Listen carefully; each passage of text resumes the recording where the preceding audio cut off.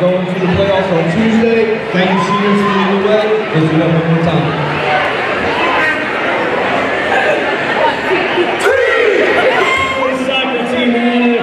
Uh, congratulate all teams on the first. Best of luck in the playoffs. Come out and support